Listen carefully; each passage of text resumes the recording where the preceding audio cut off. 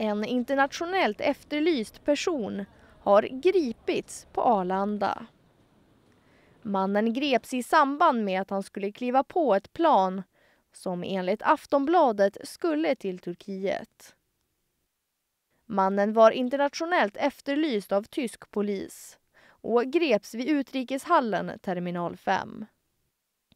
Enligt uppgifter till Aftonbladet skulle mannen med ett flyg till Turkiet när en passkontrollant slog larm.